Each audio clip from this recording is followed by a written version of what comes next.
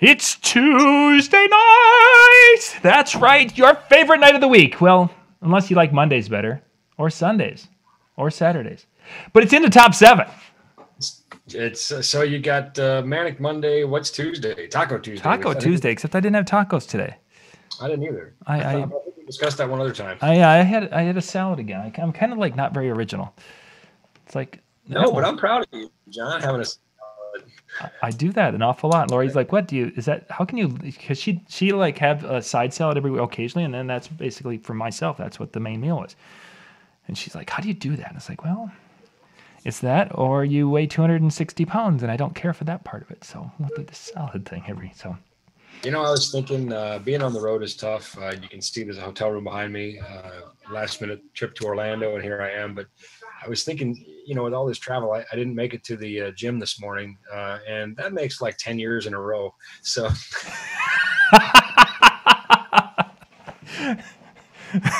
Did I touch? There we go. So, welcome everyone to our show tonight. It's Tuesday night with Ben Stowe, and tonight's topic we're going to be talking about ten different things, different tips, ideas, thoughts, things you need to be thinking about when you're looking for your next set of speakers. And Ben has been slaving away, coming up with tips, evaluating. I did, I did sort of, you know, kind of work it down and say, okay, how do we make this a nice even ten? I thought it was noteworthy, though. I'm sorry, my ADHD kicked in, and Oh. I know the viewers are uh, just riveted by our our culinary habits. Uh, but uh, not only did I not have a salad today and not go to the gym today, but my hotel is quite literally next to a Baskin Robbins. Nice, but of course you're. I'm sure not going to go and partake of the ice cream because.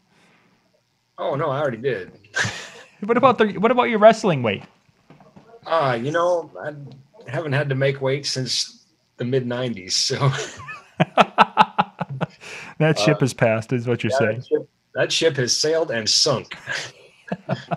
Oh. But I did, I did go. Uh, actually, I did get a little exercise today. There's a, a fun little uh, video up that uh, on Nate Bennett's Facebook that uh, Mark from Eternal posted of uh, Nate and I on an escalator.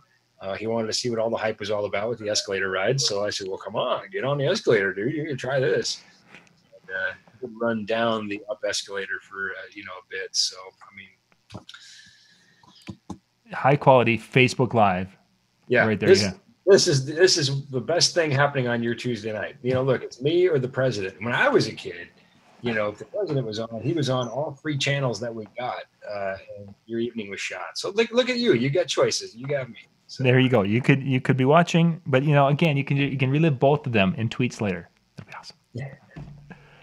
So we're going to get into our top, the or I shouldn't say top ten, the ten tips for uh, pick, picking speakers, and we've talked about speakers, and there's different levels of speakers and different companies out there, and we're not going to be pointing to one or the other as as better or or worse right now. This is just to give you guys kind of an idea of some things to look for because every manufacturer I've talked to at NAMM or any of the other shows, Ben, one of the first they always cringe about that whole, you know, everyone wants to compare wattage thing. well, you know, it's interesting uh, that that's the first thing we're talking about because it is, and I'm not joking, it is the last thing on my list.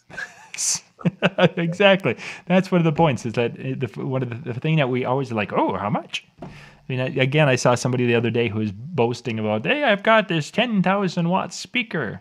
Only if lightning hits it. It's like interesting. Yeah, tell me how that's going to work out. Yeah, only if lightning hits it, and uh, only for a very short period of time. Then, so uh, you know, th- I mean, the thing is, getting you know into the nerdery, uh, and and I don't know this for rote, but I'm reasonably certain that uh, 10,000 watts would give you a 40 dB rise, uh, which is only 10 dB more than than a thousand watts would give you. Uh, you know, it's the, the logarithmic raise in power handling dictates that. So the fact is, if you had a 10,000 watt speaker, it's only 10 dB louder than a 1,000 watt speaker of the same sensitivity. In other words, wattage, and we'll get it. We're, see now, we put it last on the list, but we started with it first. We started with it because that's again that's what everyone else does, and that's where we'll come back to it. But again, as as the lesson we'll So take from this this first part is that whole doubling of the wattage, and that just gives you a little bit more of a bump. yeah, you know, it takes, uh, uh, you know, well, we'll get into. I, I, guess I wasn't planning on getting into logarithmic calculations, but why not? I like so, you know, not? Let's pull out the calculator now. We're going to go through the fun part of the show. Now we enter that in and the distance. Divide that by what's the humidity? Okay, now we put that in there, and then oh, we got to enter in the neighbors are being kind of crotchety too, making noise, and then the answer is no, it's it's much simpler than that. You okay. just take ten times the log of the power handling, and you can do that on any iPhone. It's got a scientific calculator built, and you don't need to know all that neighbor humidity stuff. So, uh, so let's so let's so if viewers are probably wondering if wattage is the least important, at least you know it, it, in my book, and I don't know that I would rank these in this order, but it is sort of in a preferential order, and I'll explain why it's why it's towards the bottom, if not the bottom of the considerations on my list. So then you would say, well, what's near the top? And again, there isn't a top, but kind of the top half. You, sort of clump together. You know, the top three or four things would be all very important to me. Sure. Uh, number one would be frequency response. What frequencies does the, does the loudspeaker reproduce? Uh, you know, am I looking for a sub box? Am I looking for a top box? Am I looking for something to fill a specific purpose? Do I need something that's going to be a full range box. Uh, so that's going to be one of my very uh, top considerations is what is the frequency response of this loudspeaker? What frequencies will it accurately reproduce uh, and how flatly, how evenly?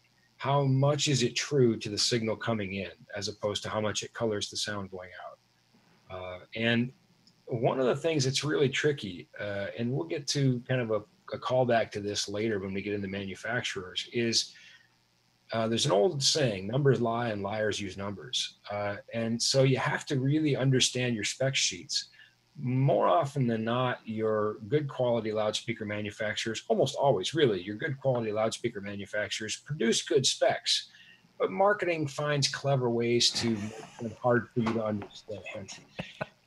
It's a good thing we don't know any marketing guys. Yeah well yeah. I know a few that watch the show uh, in fact and i'm sure they're signed in right now. You know it, look it's somebody started the game and everybody has to play it now. So it's not like you can really point a finger at any marketing person and say they're the problem because yeah. they have to play the game that some other speaker company started years ago and nobody even really knows, but everybody has to play the same game now. You as a consumer just have to be a little bit more savvy. You know, you could say that every loudspeaker every full range loudspeaker is 20 hertz to 20 kilohertz frequency response because it reproduces those signals. Yes.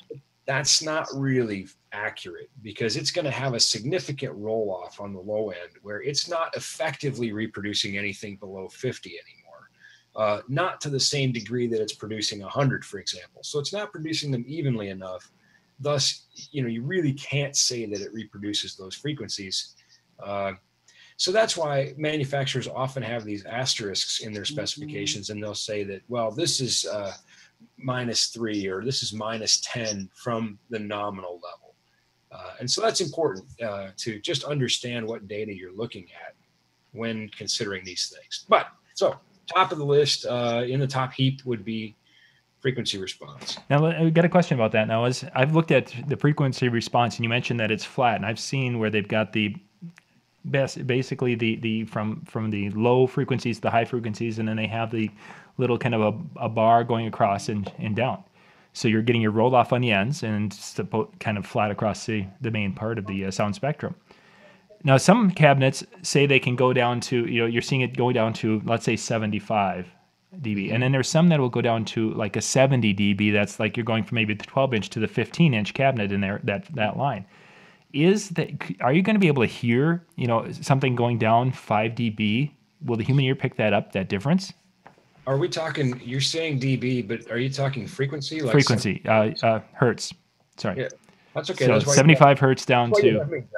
Seven, yeah. So, but if there, you, you, the one cabinet can go down to, and then it has a big roll off at 75 hertz, and the other one goes and has a big roll off at 70 hertz. Am I going to be able to hear a difference between those two cabinets in that frequency range? It's going to make a meaningful difference. You know, a good sound person would be able to pick that out uh, you know, it's interesting. I was just at a major uh, pro audio manufacturer, and I was uh, I was sitting in my chair listening to the speaker demo, and I commented to the guy next to me, And I said, 4K seems a little light, you know, just four kilohertz seems just a little light.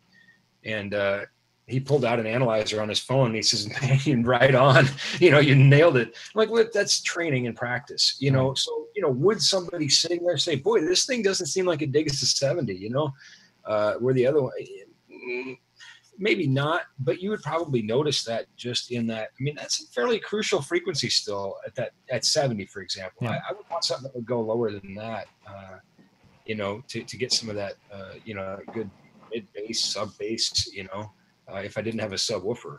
Sure. Okay. So it's it's tough to answer. I feel like you might not know exactly what you're missing, but you might feel like it's missing. On the other hand, maybe you wouldn't. You know, I think it's very application specific too. Yeah, I could I could definitely see, and I think the trained ear would definitely. Definitely yeah, that, that wouldn't bother me near as bad as eight million other things that people do with loudspeakers wrong. You know, I mean, if it if it just didn't go as deep as I liked, that wouldn't bother me near as much as something a frequency that was really out of whack, that was really high or low. Uh, you know, something piercing. You know, uh, a lot of 3K coming through or something. You know, would be much more obnoxious to me than a speaker that just didn't go low enough for my liking. Yeah. Uh, but the short answer is there there is a difference. Um, whether or not it's meaningful is going to be application specific. Sure, sure. Okay, cool. What's our next one? Next to me. Let me uh, real quick. Let me just illustrate what I'm talking about. Uh, sorry, viewer, this is doing this live here. So, yeah. um, this is this is the part where we pull out the colored crayons. I like that part. if you guys have got any questions as we're going through here, besides uh, escalator videos, we probably aren't going to cover escalator videos tonight. Those are those are Facebook Live. That's right. It's exclusively the domain of Facebook Live. Let's give this a whirl, okay?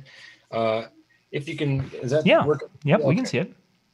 All right, so this is my frequency response chart here. So let's say my speaker, it's not fat, flat all the way across. It has a little dip here and it's a little high here and a little higher. Totally fictional, by the way. Just made that up. Yep. Uh, and then let's say, okay, so this is my high frequency and it, it makes it most of the way and then drops off. My low frequency starts to lose a little steam about here and then it kind of tapers down. Well, I could say that it does, this is fictionally 20 to 20K, all right? Let's just say that it does make it all the way to 20 hertz, but reality, it doesn't because that's so much lower than what it reproduces, say, 100 There, sure. Right? So the first line I've drawn uh, represents like a minus 3 dB from the average. So the, the top line is the average and then minus 3 dB.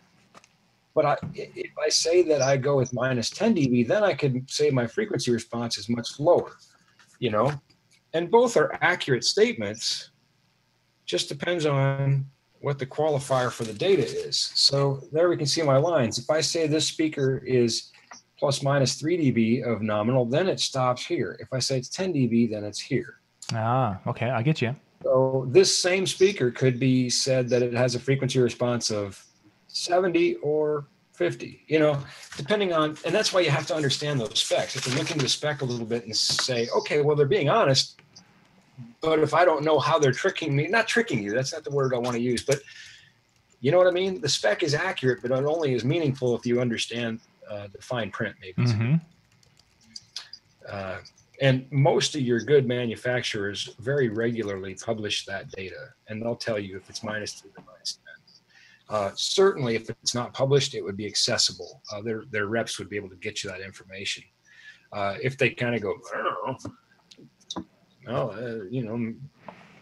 And that happens sometimes. Yeah the big loudspeaker manufacturers, uh, you know, obviously we like EV; they're a sponsor of the show. A lot of friends in engineering down there, but you know, the other big loudspeaker companies, JBL, RCF, and all that, they they have engineering facilities, they have anechoic chambers, they have good test equipment, and they're able to produce good spec sheets. Uh, some some plastic box coming from China. It's the manufacturer, well, the importer in this case, maybe probably has no idea. And I'm not poking fingers at anybody, right. but that's just one of those things where they didn't build that speaker, they didn't engineer that speaker, uh, you know. And even if they even if they did, the the testing is probably somewhat suspect and probably not very accurate. They don't have the upfront investment in that infrastructure. Uh, so you know, the old adage "you get what you pay for" really kind of applies. But that's later in the list. So yeah. So number two. Number two. So we're 15 minutes in. We've gotten through one. Well, we're right on schedule. we're doing great. Did I mention oh, this was a four-part show? Yes, it's a mini series. Uh, number two, coverage pattern. Hmm. Uh, does the loudspeaker put the sound where I want it? Uh, particularly important with high frequency because uh, we want to uh, directionalize that lower energy sound. Uh, you know, try to make it a little more efficient. Uh, it gets harder to directionalize low frequency sound, and so typically we find that the lower frequencies are not directionalized in a box. You can see that in the polar response patterns. again, good manufacturers will have that data. subwoofers are rarely directionalized until you use like a cardioid array or something. Which, we've done some shows on that. Go see those. Uh, but anyway, an old adage: put the point the loud part towards the people. Uh, the coverage pattern would be important, you know. So can I get the uh, can I get the job done uh, in the area I need to cover with the speaker I need to cover it? And of course, that would that would then use the the uh, in a spec talking about dispersion, and both the look at this just showed up. This is this is when you know you're rolling big. When you no no no no rolling big was when you had that automatic the automatic yeah. Pepsi machine that you know delivered that night. That was. Uh, man, what show was that in? We got to bring that back. Oh, I don't know. That was a great show. Yeah, I don't have the automatic dispenser right now. No, it's too bad that that went on strike. Yes, those robotic arms are getting harder and harder to. Yeah, their, their union contracts just kill us. But yeah, the the appreciate it. appreciate it. Thank you. uh, just following in the chat room here. That's so okay, when you're, when you're big time, when you can send a text message begging for a soda next, and, it actually shows up. That's that's pretty awesome. I'll, I'll, try that and see if if Lori brings out something for me. well, yeah. You know, and I'll tell you what, I've got the most amazing wife in the world, but she's not here in Orlando. This is, you know, so uh, I, I'm, I'm sure she would happily do it. Uh, uh, maybe not. I don't know. But, yeah, yeah. Uh, but yeah, I, mm, but anyway, I'm, i have wonderful coworkers too. So yeah, yeah. yeah. Don't get me wrong, Lori would do it if I, but the poor woman's got about ten different things, and I come out here and she's got the children. It's like, yeah, I'm not gonna throw one more thing on her lap tonight. Well, I'm also afraid to go on record to say what I think my wife might actually do. Yeah, so. exactly. So that's why we gotta we need to go on to a different topic before we she both get in trouble. Show, so I, I doubt it's possible. Just to, just to see what I'm up to. Three. Number three, SPL, hmm. uh, which is uh, stands for sound pressure level. Uh, which uh, we, you know, you mentioned dB earlier. That's decibels, which is the unit of measure for sound pressure level, uh, our our perceived level of sound. And uh, I think that's important. We've talked about does it reproduce the frequencies we want? Does it point them in the direction we want? Uh, you know, cover the area, you know, horizontally, vertically, whatever. There's different coverage patterns available. Does it uh, accomplish those? Uh, but is it loud enough? Yeah. Number number three has to be, you know, and again, top of that heap is, do I have enough rig for the gig? Now, where are, is the the SPL? Where is that typically measured? Because if I'm out, uh, you know, is it something where they're measuring it in the middle of my dan- dance floor area, or where are they measuring that number? Well, when you talk about the client, that's uh, that gets into more of that subjectivity, and I see another uh, logarithmic calculation coming your, your way here. Uh, any chance to drop it is a good day. I yeah, so, I'm, I'm kind of picking that up here. You know, typically loudspeakers are measured using one watt of power, and some viewers are thinking one watt. That's yes. Uh, believe me, when we circle back to power handling, uh, that's going to make a lot more sense to you. Uh, maybe not. It might. It might be one of those things that sends you uh, sends you to question the cosmos and your existence. But one of those things, once you once you uh, you know sort of metabolize it and you get it and it clicks, you say, "Wow, I guess it really does make sense." Physics, well, physics is pretty solid. You know. We know about these things like gravitational constants and whatever. And this is another one of those things that we know about. And it's just proven time and time again to be accurate. Anyway, so typically a loudspeaker is measured using one watt of power at a distance of one meter, 3.28 feet from the loudspeaker. Uh, and then we know uh, by this math that we talked about earlier how loud it will get at max power, et cetera, et cetera. And Oh no. We froze up. Oh. Uh oh. Yep, we're back. Oh, we're back. We're back. We're back. So Too many.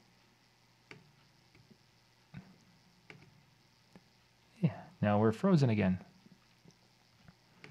Well, I don't know what's going on. Are we back? Yeah, we. I, I hear you now. Okay. Well, I'm sorry, viewers. Yeah. Uh, I broke the internet. Yeah, at least for a second. So Take that, Kardashians. yeah, see what they can't do that you can do. No, I, I broke the internet. All I had to do is use a physics formula. yeah, exactly. You start bringing out the the slide rule, and everyone gets this little kind of. Didn't have to X-ray my butt. I just had to uh, use a physics formula. There's a image we really didn't need tonight. Well, isn't that what one of the Kardashians did? Didn't they? Didn't they do an X-ray of her butt or something? Yeah, but you know now now you got us thinking about you going up an escalator and and, and X-raying your butt. I think you might be the only one thinking about it. Yeah. well, Okay. Let's just hope that's the case. You might be the only one thinking about it. All right. So where did we leave off? So- So, SPL is typically measured at one meter, uh, and and uh, we have this peak output every time we double the distance from the loudspeaker. We're going to lose six decibels. That's that's a known entity on a point source loudspeaker, uh, and, and and so if you say I need to accomplish, you know, 85 dB A weighted on the dance floor and you can extrapolate what you need to have back at your loudspeaker. Uh, those are just known things, you know. hmm Uh, and in order to keep us on time, you know, I, I I think that's something we could spend a lot more time on. Yeah. Exactly. Uh, there are distance calculators that you can punch in the distance. You can put in the starting loudness and the distance, and it will calculate it for you. I can also give you the formula.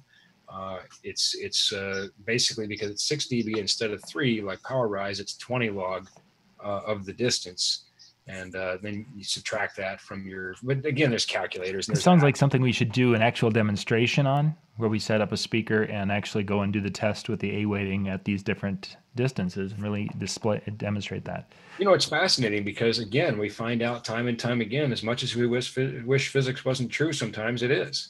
And we, we say, well, I don't understand how this can possibly be. Well, it doesn't matter if you understand it. It just is. It just is. Yeah. You know, it's it's it's on you to understand it. You're not going to bend physics to your will. You know, Exactly. you're just going to sooner or later accept that. You're not a force user. You can't. bend. Okay, so let's jump on. Let's continue on. We'll we'll get back to the speaker one. I think that's a great uh, a great uh, demonstration we should do. Add that to our list. Yeah, it's uh, you know, and, and I'll tell you, I'm, I don't, we're talking now 2018, bringing the audio symposium back, and I Mhm. think one of those t- things too that obviously we do some awesome things on this show, and I'm I'm super excited to do that show with you, John. But if you really want to take your audio knowledge uh, up, you know, a notch or ten, uh, that's a great place to do it. For so sure. just put that in the back of your mind that we we are going to bring it back in 2018. Uh, Mhm. Just just too busy in 2017. I'm sorry, uh, but we're bringing the lighting symposium and the audio symposium back for 2018. So, uh, so number four on my list is size and weight.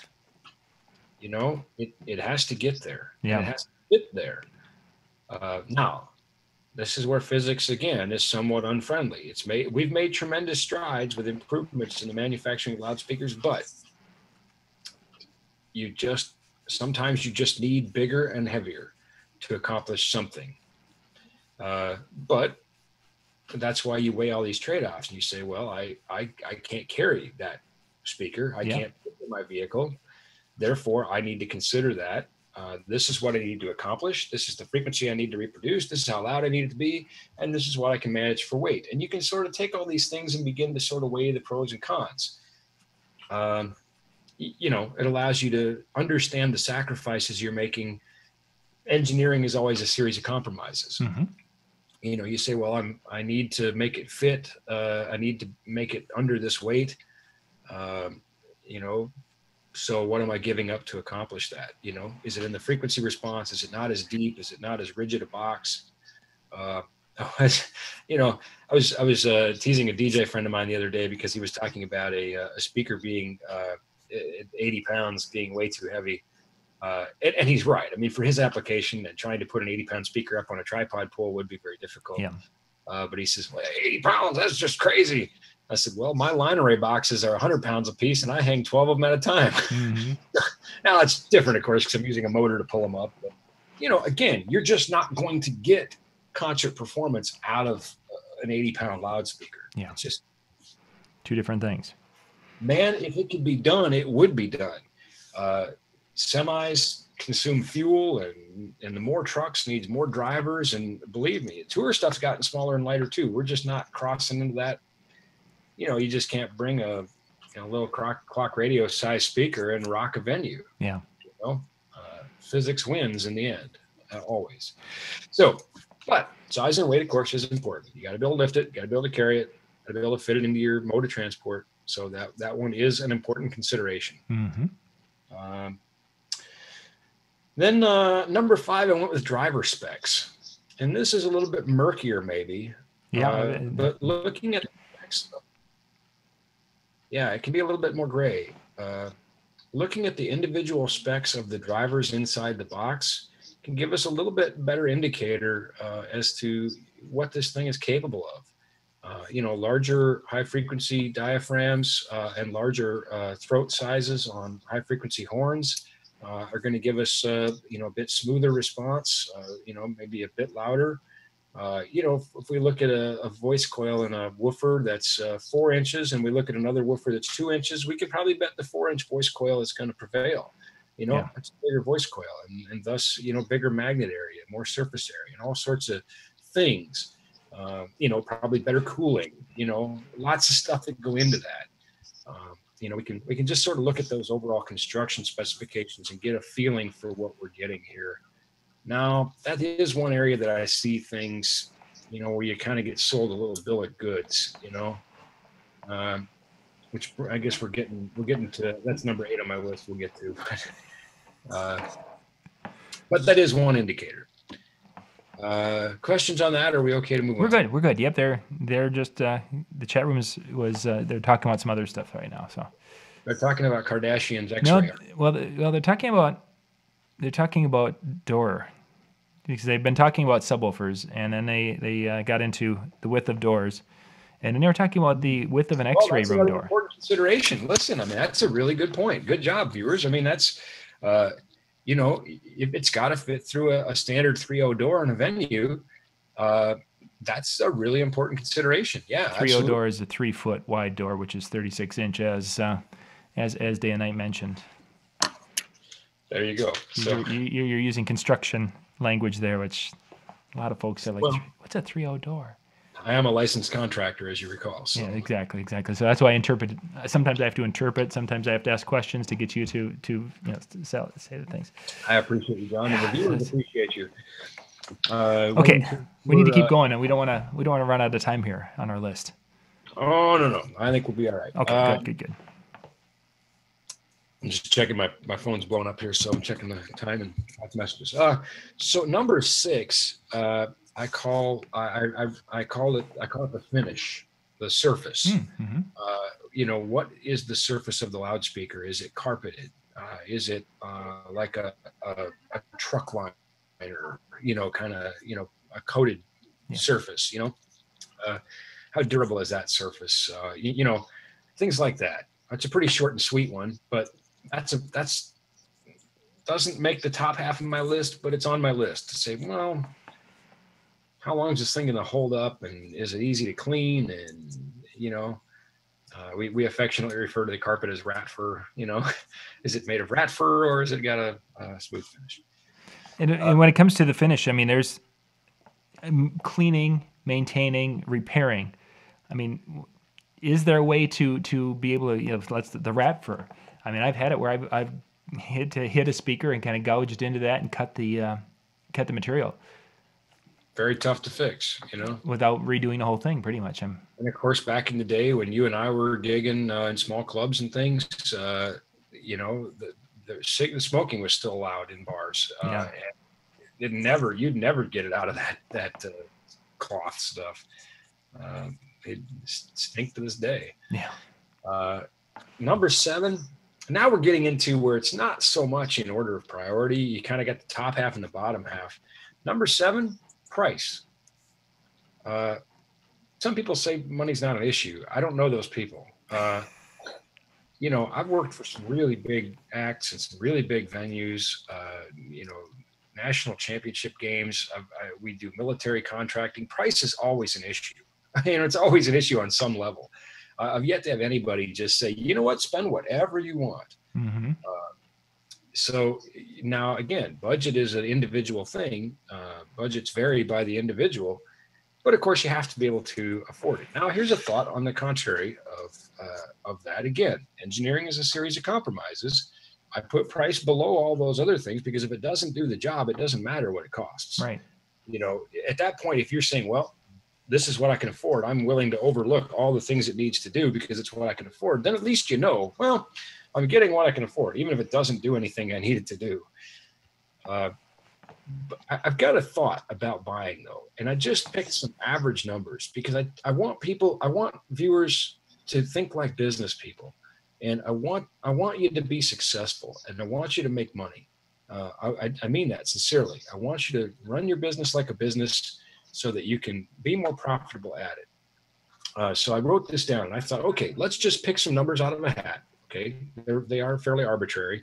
Uh, let's say you spend fifteen hundred dollars on a pair of loudspeakers. Okay. And and let's say that you have a gig every other week for an average of 26 gigs a year. Okay. So you use these loudspeakers 26 gigs a year. And let's say that you use the IRS standard depreciation schedule of five years for a capital purchase. Uh, and so you're going to amortize these speakers over five years. Okay basically what I'm saying is you say, I'm going to use these speakers for five years. And at the end of five years, I'm going to declare them worth zero. Now, of course, if you use them longer than five years, that's a bonus. Right. But in this example, 26 gigs a year for five years, and then you throw them away. You know, not that you would, but you could at that point. They have yep. Paid themselves off. Yeah, basically, they've been fully depreciated at that point in time. Right. Anything you get after that is free money uh, anything you sell them for, anything you, uh, you know, any additional shows you use them for, if you planned on depreciating them to zero in five years. Okay. And of so course, we have to make the statement that uh, we know you wouldn't sell them after you've depreciated them to zero without reporting that income to the IRS because, you know, that's just the right thing to do. Well, absolutely. Yeah. That's, you know, I'm not a tax attorney, but yes, uh, it's not free money. I shouldn't say it's not free money from a income standpoint. It's free money from a depreciation standpoint. Exactly. Exactly. Thank yeah. you, John. And uh, yeah. disc used lawyers also thank you. Uh, so, so here it is. If you take a fifteen hundred dollar pair of loudspeakers, use them for twenty six gigs a year over the course of five years, that fifteen hundred dollar pair of loudspeakers cost you eleven dollars and fifty three cents a show. Now, I cannot think of anything more important to a DJ show than loudspeakers. Yep. Certainly, microphone and controller and, and, music or all those things are are equally important, but loudspeakers have to be considered one of the core elemental pieces of the gear of a DJ show. For sure. I mean, for example, what happens if you don't have speakers? Game over. You're know, just an annoying guy with a lot of lights. Yeah, nobody nobody dances to the light show. Yeah. Uh, unless you're unless you're using a house system, in which case, never mind. So listen, I hope you're charging enough to pay eleven dollars and fifty three cents a piece for a pair of speakers. I, I, mean, truly, I'm not, I'm not, I'm not being facetious at all. I'm saying, listen, when you break it down like that and you say, okay, what can I afford? I would like to think you could afford even twenty or thirty dollars a show for the loudspeakers. Mm-hmm. Now we're talking about you know three thousand dollars for a pair of loudspeakers, which is more than than the majority of DJs would spend. Right. The point is, a quality loudspeaker actually is really affordable. You know, I'm not saying that to get you to buy more, but I'm saying when you think about it in those terms, when you think about what you're asking of that loudspeaker to do and the importance it carries in your show, uh, you should kind of rethink the whole price thing. I think. Yeah, yeah, for sure. That's a that's a great point because a good speaker will last the five to six years. And you know, you and I have both owned speakers that we bought when we you know couldn't afford anything. And oh yeah, my it, first speaker terrible. Yeah, and they they last. I, I get it. Very very short period of time. It's like oh, that didn't work. Yeah. I, yeah, I totally get it. Uh, I, have totally walked that walk, and I know you know I'm not, I don't have endless pockets even now. Uh, but I think what I'm trying to do is uh, pass along some of the hard hard learned lessons. You know, uh, I just did the quick math here. If you have a $500 pair of loudspeakers, uh, that's the same as getting one Starbucks a gig. you should probably put more emphasis on your speakers than you do your coffee. Just saying. Because the coffee fact, is here today, gone tomorrow. You don't own it. You just rent it. You just rent it and it just pass it on through, baby. Pass it on through. I bet you at the hotel this soda costs four dollars, which is more than that. You know. So anyway, price is important, of course. Uh, it has to fit your budget. But when you're establishing what your budget is, don't make it. Don't just pick a number out of the hat. Give some thought as to the business of your business. Mm-hmm.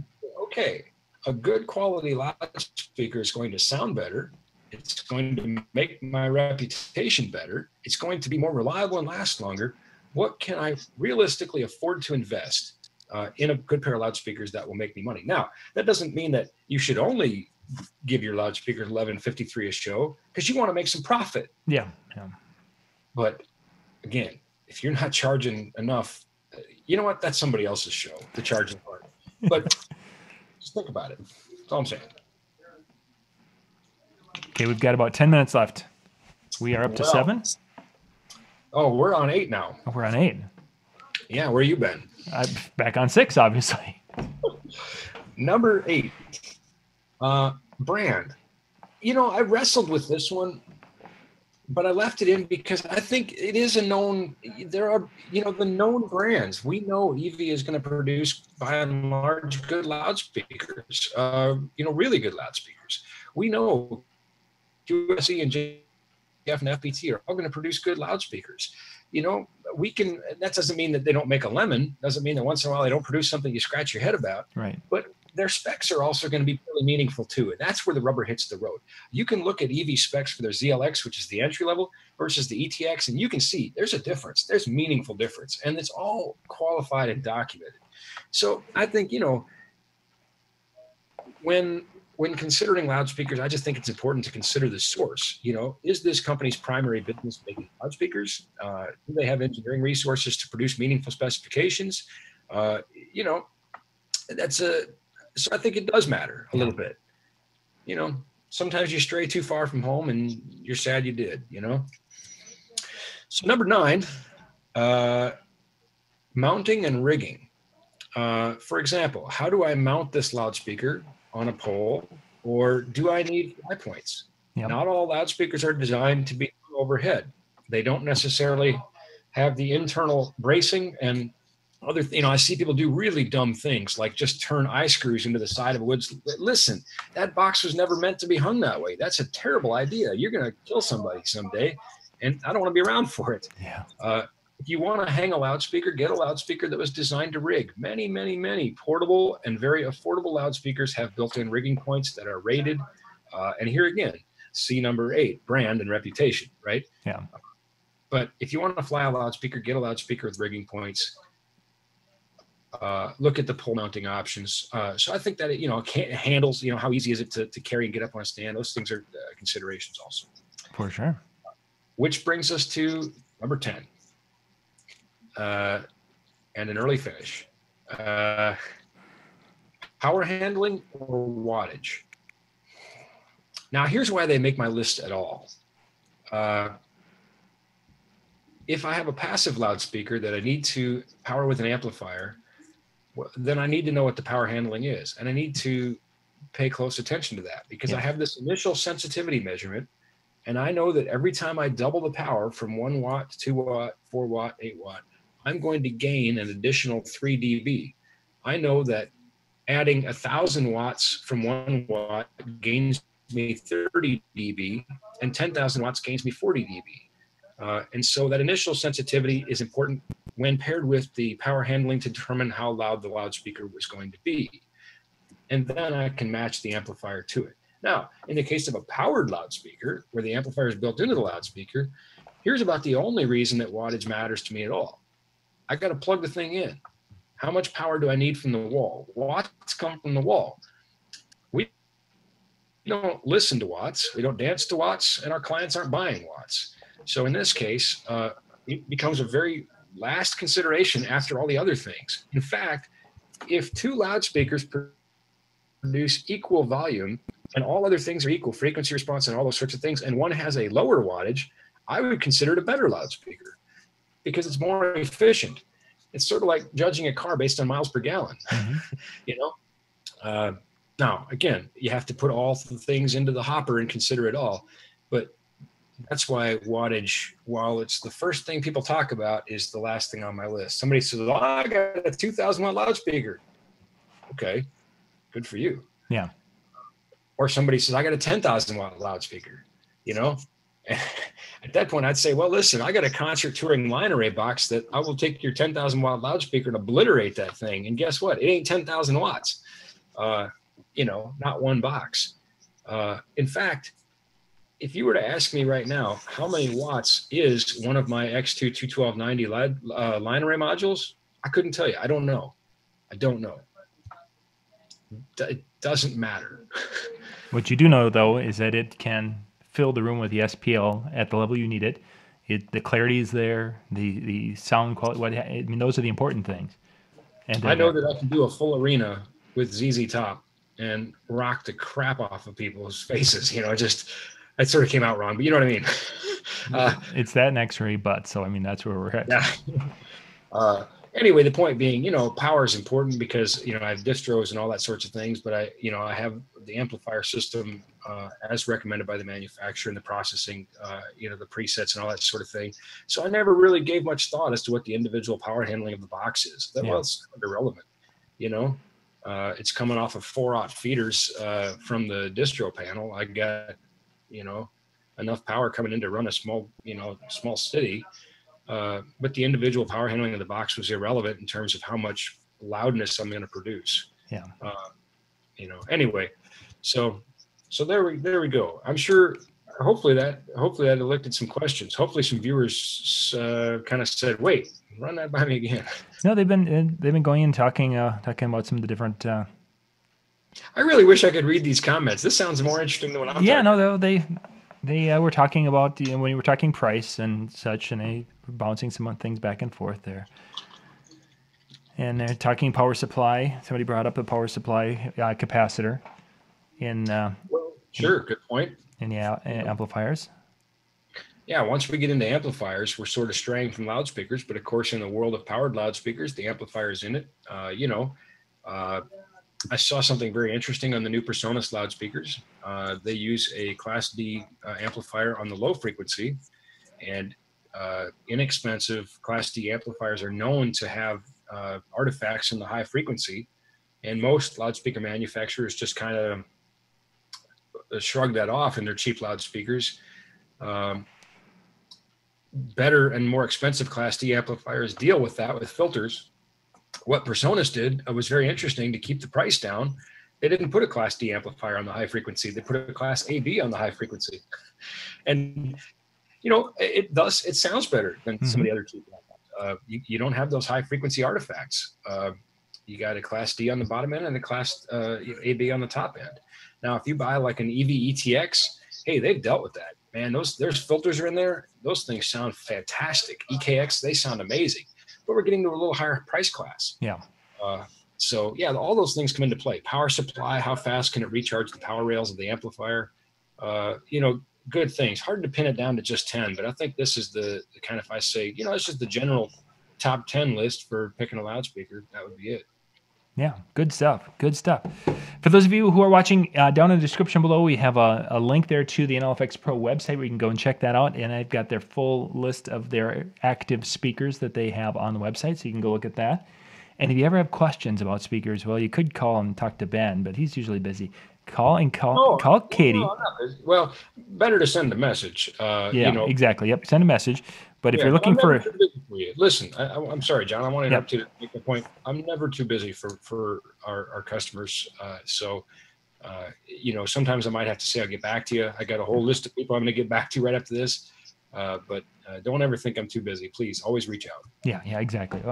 And in the direction I was I was going, not so much that Ben was too busy that, but Katie's Katie uh, from NLFX Pro, great young lady to talk to, and she will get you hooked up if you're looking for some speakers or anything else. She's a, a uh, very knowledgeable young lady who has been around the industry for quite a long time. So, Yeah, well said. She's dynamite. Uh, if you go into Mobile Beat, you're going to meet her there.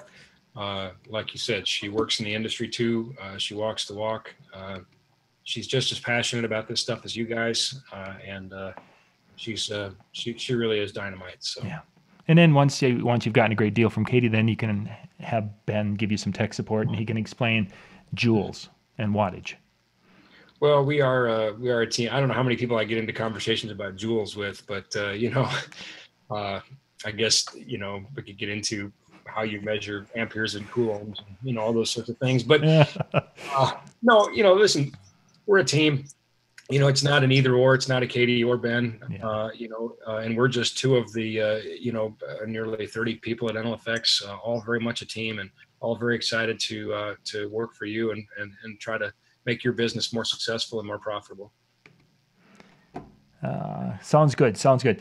Ben, thank you very much. We're going to wrap things up and we'll be back in about 15 minutes. We've got uh, Brian Red, myself, and we've got Howie joining us tonight. And we're going to be talking. All right. Yeah, we've got a couple of different things, but Howie's got an idea for for the mic drop.